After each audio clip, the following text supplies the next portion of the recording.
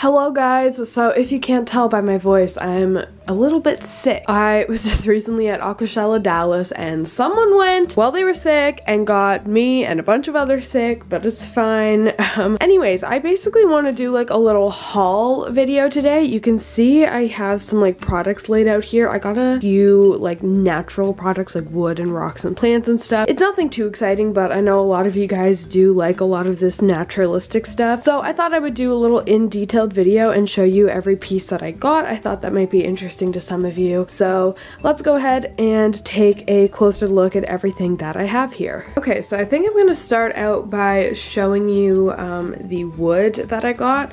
I'm pretty sure every piece that I got is grapevine, although I'm not certain of it. I did get it from one of my local fish stores. They just kind of had a box of wood and it does all look like grapevine to me, except I don't know, this piece looks a little different, so I'm not sure, but I'm pretty sure it's mostly grapevine at least. But here is this piece of wood I got. It's a fairly decent size. I'd say it's probably just about a foot long and a few inches thick, but I think that this piece is really cool. It has some like neat shapes to it with like you know, all these little pieces sticking out. Yeah, I don't know. I just thought this was a really nice piece of wood. I feel like that's what I'm going to be saying throughout this whole video because what really can you say about wood? It's just, it's a nice piece of wood. And then we have this piece here. So this piece is definitely grapevine. I've seen enough grapevine in my lifetime to know that this is definitely grapevine and there's a hair on it, you. Um, this is also another neat piece. It has like this neat little like twist at the base of it. And then up at the top here it kind of branches off but I mean you could kind of put it sideways or you could also like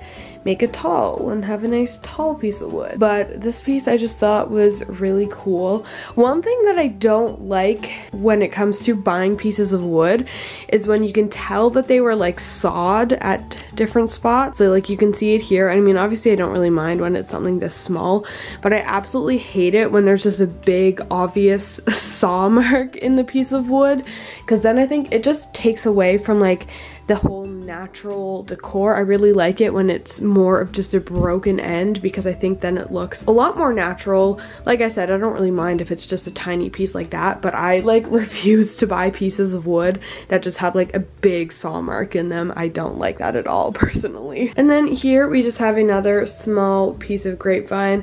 This piece is not very big, but I thought that it would be sort of a nice accent piece.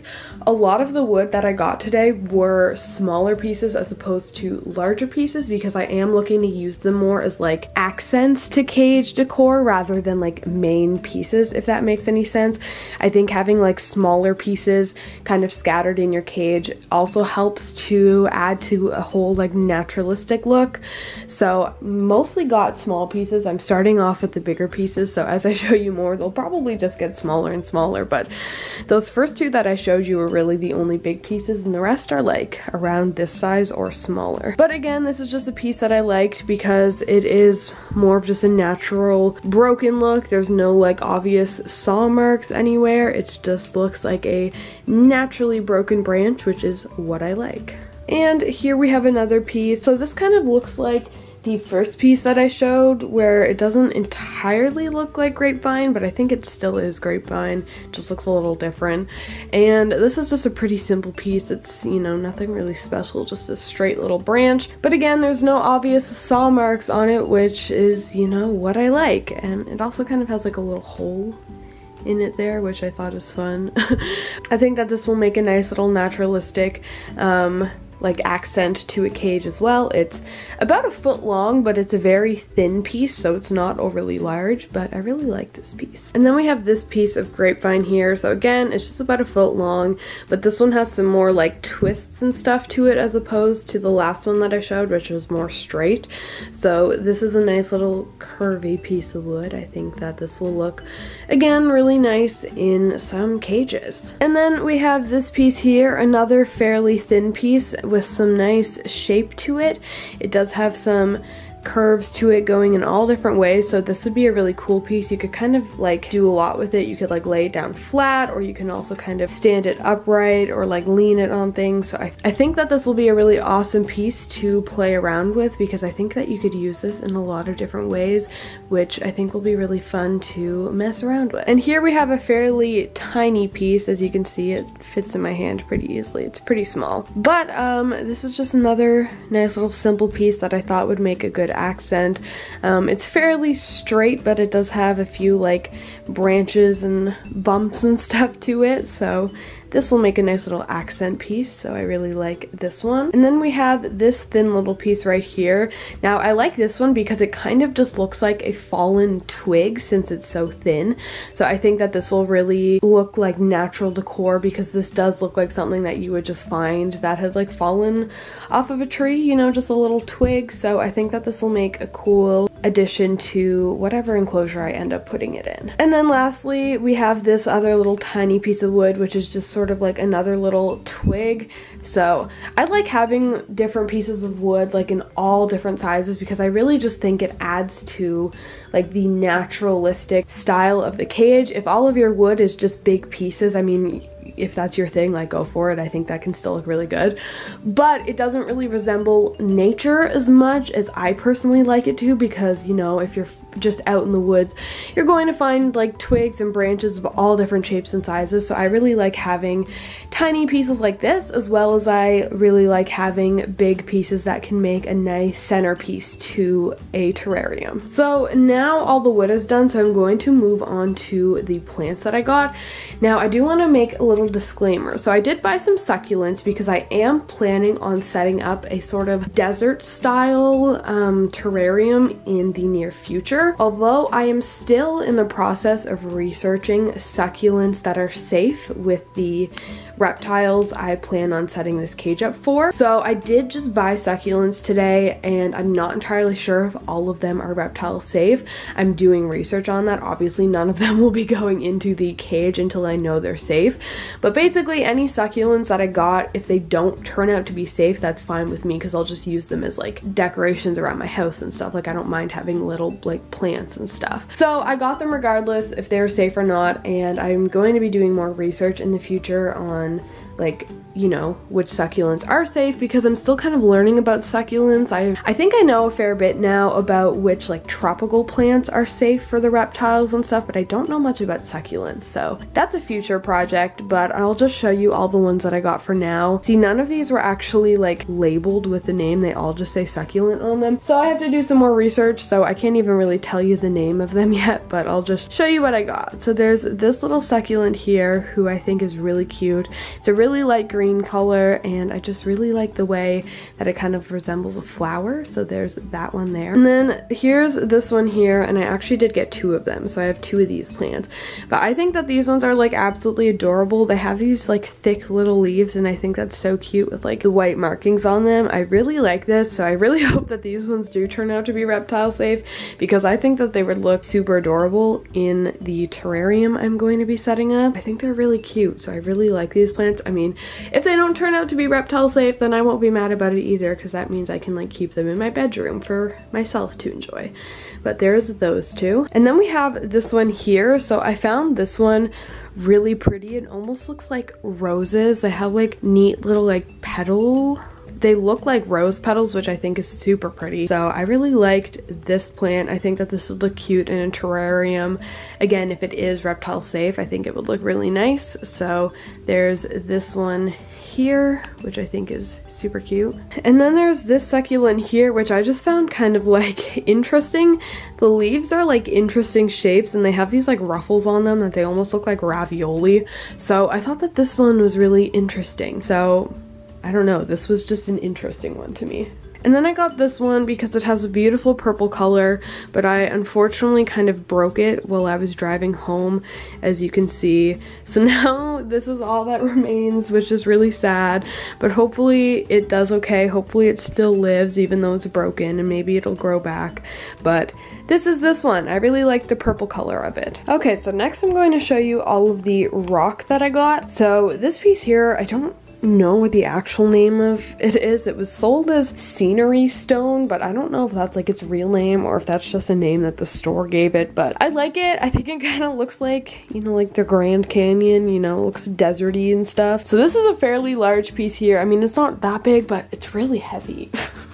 So I'm gonna put this down now because it's heavy. And then I got some smaller pieces of the scenery stone. So these are a lot lighter, so it's a lot easier for me to hold. This piece had a really cool shape to it. It's kind of like flat on the back and then it's like, I don't know, has like different levels and stuff throughout it. So I thought that this was a really neat piece. So I picked up this one. And then I picked up this piece as well. So it does kind of have a flat surface here, but then it almost has like little steps there, which I think is cute. It'd be probably a little cool rock to explore over and I could like do stuff with it, like have another rock up top here or have some wood and everything. So there's that one. And then this is the last piece of that uh, scenery stone that I got. So here's what this piece looks like. I don't entirely know how I'll end up using this one. Probably just like that. Like that'll probably be the base. And then that's what it looks like. So there's that piece. And now let's move on to the next rock. So next up I got some black slate rock. So this rock is really cool to work with. It's easy to make like hides out of and stuff and things to climb on. This piece I really liked because it's almost like it would fit really well in the corner. Obviously it's not like a perfect 90 degree angle as you can see, but I mean if you were to put some like stuff behind it and like on top of it and under it, I think it would make a really cool corner piece. It has this like rounded front which is really neat. So I think that this would make a really cool piece to put in the corner and use like a hide side, like if you have something on either side holding it up and then they can go under it as well as like climb on top of it.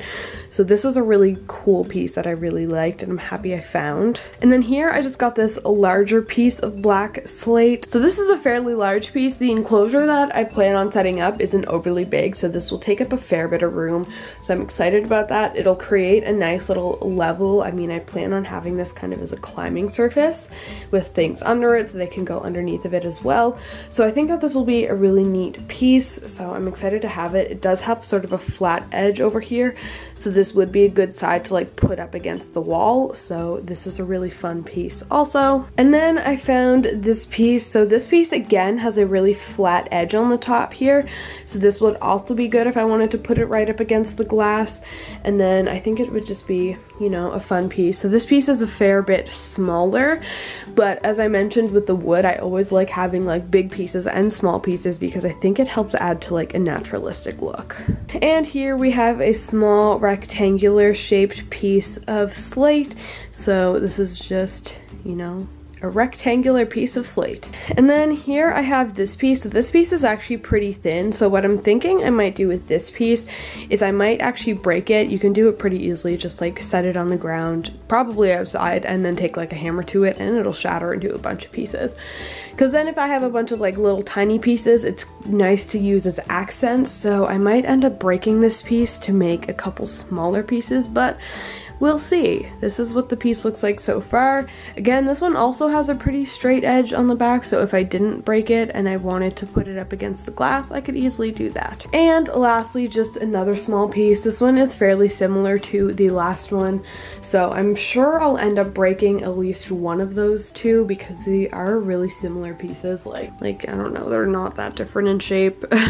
they're both kind of like wider on one end and kind of come to a point. This one's more pointier than this one. Either way, I'll probably end up breaking at least one of them, but we'll see. I think the slate is a really cool rock to have in terrariums just because you can do so many things with it from making like different levels and building hides and like making basking platforms and everything. So I'm excited to use this. So that was essentially the haul complete. Here you can see a nice little look at everything I showed you. So you have all of the wood and the slate rock and the other rock and all of the plants. I mean, even though this is just thrown on my bed right now, I think it looks pretty cool. So you can only imagine how cool it will look when this is all set up in a terrarium. I think that'll be absolutely awesome. So make sure that you guys stick around if you want to see what I end up doing with all of this because I've not told you what I'm doing with it. You guys, like, I'm, it's obviously going in a terrarium, but you guys don't know much. So you guys want to stick around and see how I build all of this into a new terrarium. Make sure you subscribe subscribe to my channel and give this video a big thumbs up if you haven't already.